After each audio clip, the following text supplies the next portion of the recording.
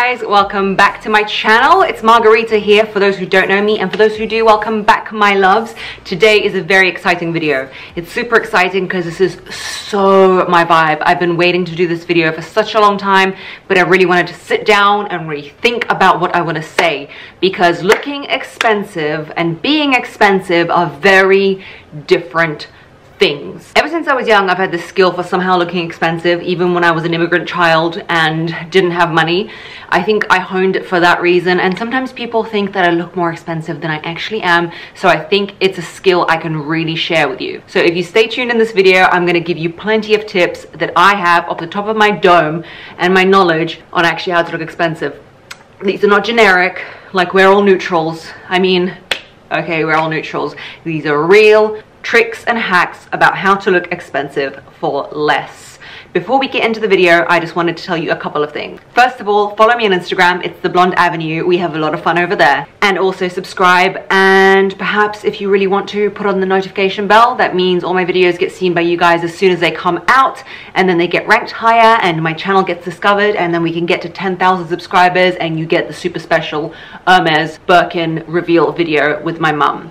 Talking of my mum, those of you who are the Blonde Avenue mum lovers, I'm going to put in a special message that she left for you guys at the end of the video. She is the epitome of fabulosity. Something else I want to share is this video is in a collaboration with Lily Silk. Lily Silk is a brand I really, really love. I don't work with brands I am not passionate about and they make exquisite stunning silk product. What is more expensive looking and posh feeling and a little bit delicious than silk? So the blouses I feature in this video and some of the other things are by Lily Silk, like this one over here. And you can get 12% off. It's not an affiliate link. I don't get anything from it, although I don't think you guys would mind if I got something from it. You'd be like, get that bag, girl. You can get these shirts and a few things I'm wearing for 12% off with TBA 12 on their website, and the links will be below. Okay, without further ado, let's find out how to look expensive. I've just moved over on the side here so I can show you a little bit of me styling the outfits on this side. I hope you like that format. Okay, so tip number one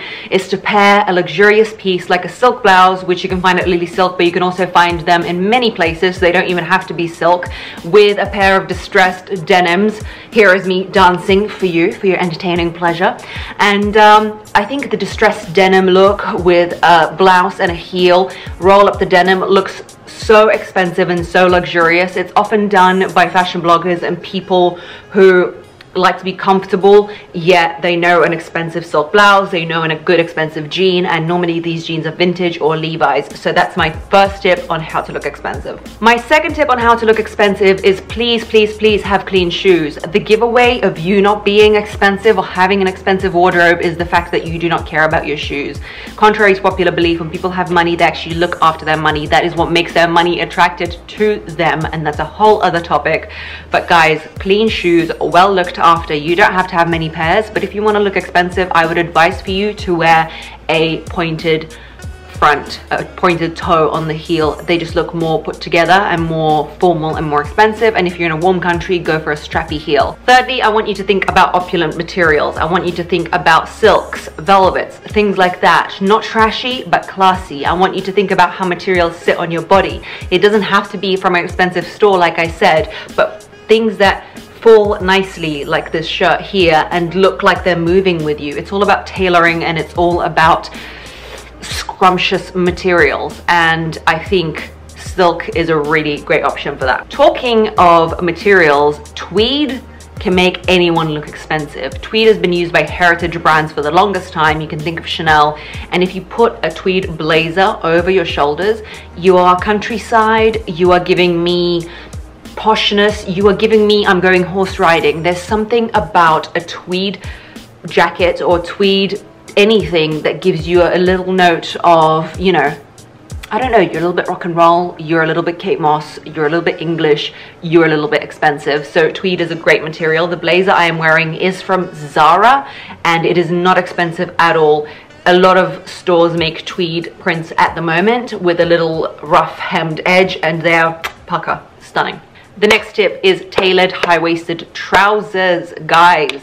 I have some pairs from Ralph Lauren, like the ones here, but ignore that. We're trying to look expensive on a budget. So um, another one I have is from Zara, H&M, think high-waisted, so they hit you just like above the belly button, and also tailored. People who wear expensive clothes are often looking for tailoring that's gonna flatter their body as opposed to trends that come and go. And I know a lot of the um, thoughts about tailored trousers, they can look a bit officey and old, but they don't because it's about your vibe. You act vibrant and happy and you're wearing tailored trousers, you're gonna look expensive and not dowdy, guys. It's about how you carry it.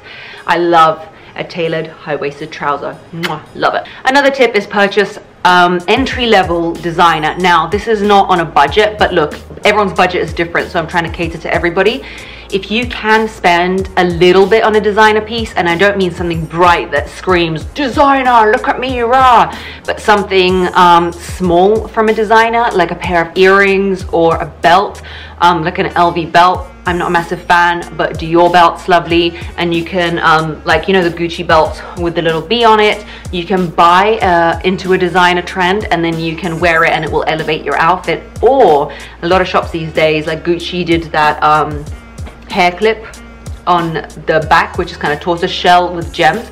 A lot of stores started to do the same thing. So just look at the fashion house and look at how they use their um, designs and materials and, and, go with that and run with that. That's a really good idea. Accessorize in the way that that fashion house accessorizes. Guys, this is a tip that is very, very interesting.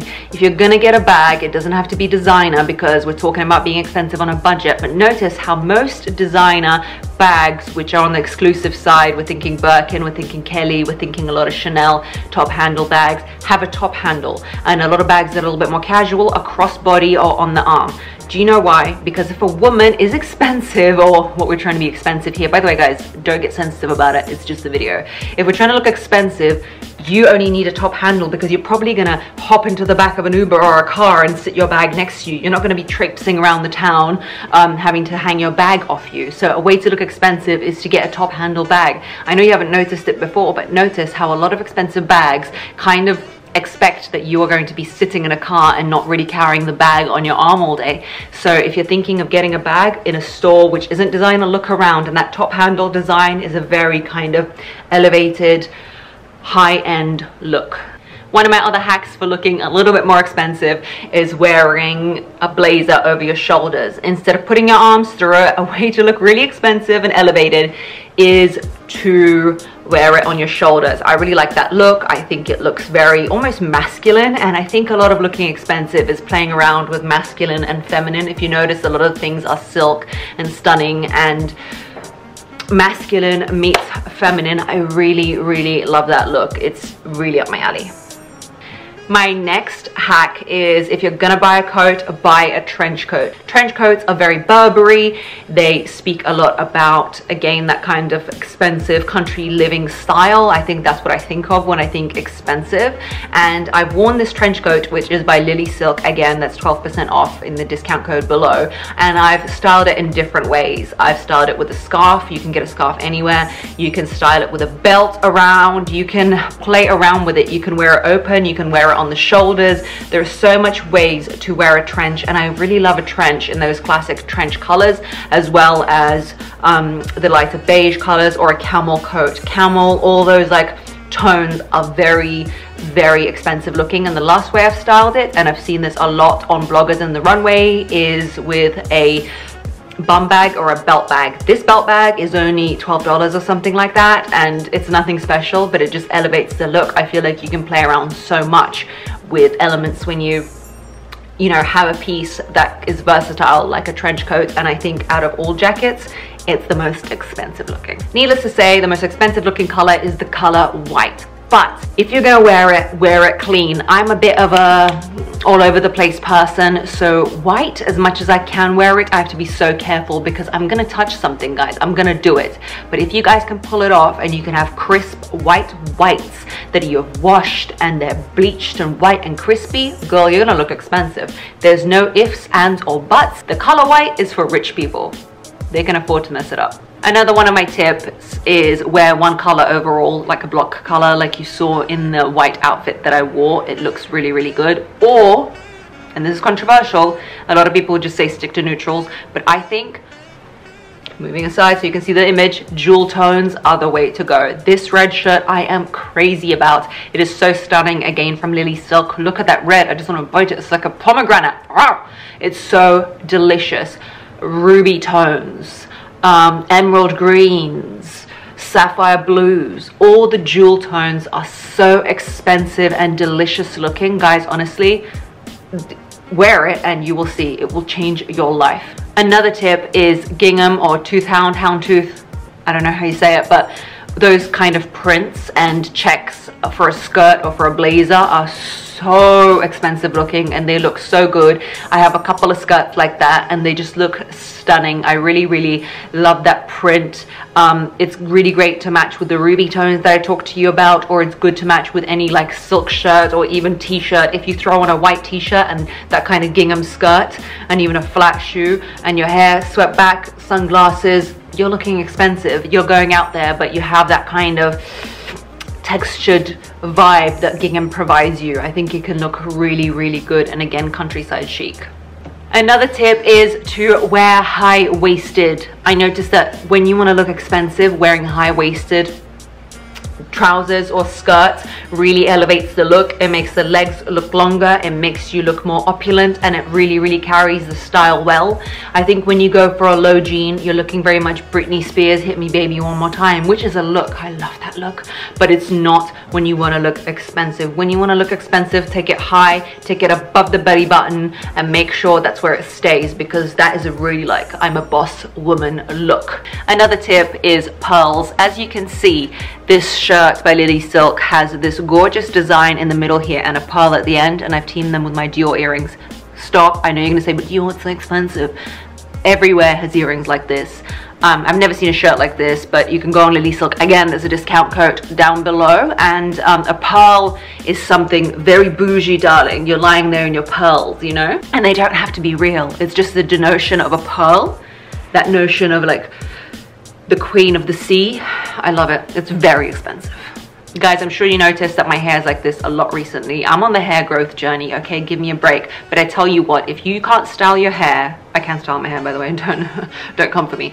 If you can't style your hair though, and it's not lying right at that moment, wear a ballerina bun. Wear a knot, just wear it like this. It's the most sleek, looking hairstyle you can ever think of and it looks so expensive and so posh because you're just like there living with your hair back not giving a damn it's so easy going instead of if your hair's not laying right hair's a dead giveaway that you're not an expensive person I've said the word expensive so often, but that's what the video is called. If your hair is just wacky and all out of place, it's gonna ruin your whole vibe. So if it's not working for you, if the blow dry isn't popping, pop it back. Let's talk about makeup and manicure okay, everyone in America is gonna have a little heart attack right now. But a way to look expensive, guys, I'm gonna say it, is to wear no nail varnish. A lot of the way that I grew up, a lot of the people who are truly expensive and truly no style aren't so much about fake long acrylic nails. I know, I know, it's crazy. A good shellac manicure is good, but I've often seen on people who truly are comfortable with themselves and have this opulent sexy style, they either wear a really clean manicured nail or really well looked after nails with nothing on them. I know, I know, I know, just short nails. I know, I know, I know. I struggle with this one too, but it is a thing. And secondly, makeup. Perfect one look, perfect a bronzy, easy, good eyebrow, feathered eyebrow, neutral lipstick or red lipstick look. Perfect it every single day and wear it all the time. It becomes your signature look. You do it well. You look like a movie star. You're not messing around with crazy colors. You're gonna look really good and you're gonna look expensive with your hair done right. Your skin's looking good. Your face is looking good. Your nails are manicured and polished. You're looking amazing. And I've got one more tip to make you look expensive and this is probably the best tip. My last tip to look expensive is to get an expensive cat. So you can sit like a villain and go looking expensive. Come on, all the Bond villains have an expensive Persian or British short hair cat like this. There is no way around it, guys. This is the part that you're gonna have to invest in. Investment is key if you want to look expensive. Are you looking at me like I'm crazy? Expensive cat, expensive life. Sorry, babe. I came up for that. Alright guys, thank you so much for watching my video and here is my message from the Blonde Avenue mum. Take it away. Hello everybody, mom here from the Blonde Avenue. Just um, came back from running. I already in London and wanted just to say hello to you all. So weather in London not like in Sydney very cold and gloomy, but we used to. It's okay. So we getting sporty. You see, I have a sport watch, sport glasses, all this equipment. So rose cheeks. So day is starting. Hello everybody, love you all. Isn't she so adorable? I actually love her. So from now on, you guys know she's the expert on all things fabulosity, fabulousness, fabulousness. If you guys want to ask her a question, leave it in the comments below, but right in the beginning for the Blonde Avenue mum or for TBA mum or for our mum or whatever. And, oh my God, he's trying to, he's trying to, He's trying to attack me from the bottom there. He's like, why did you wake me up? And uh, she's going to answer it for you. So I'll pick one question every week. I'm going to send it over to her. She's going to record her answer. It could be anything from her home, from her style, from wherever. And if you guys confused about who she is, again, go back in my videos. She's fabulous, darling. she's always looking expensive. Even when she wasn't expensive, she looked expensive. I got all this from my mama. Anyway, guys, thank you so much for watching. I love you lots like a jelly tots. See you on the next one. Bye.